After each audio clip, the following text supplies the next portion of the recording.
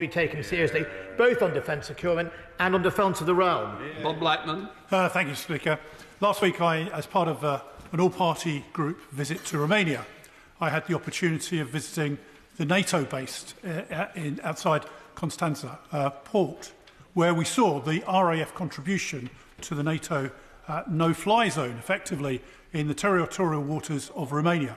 Those brave men, men and women are working 18 hours a day to ensure there's no Russian incursion in uh, such territory.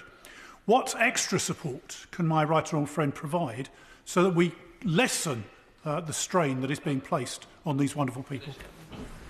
Um, Mr. Speaker, I know that the Romanian government are very grateful for the visit of the APPP, APPG. Um, on Friday morning, I held uh, a trilateral with the Romanian and Ukrainian um, deputy defence ministers. Um, Snake Island was for the fore in our discussions, but yeah. what we concluded isn't for public consumption. Yeah, yeah. Johnson. Thank you, Mr. Speaker.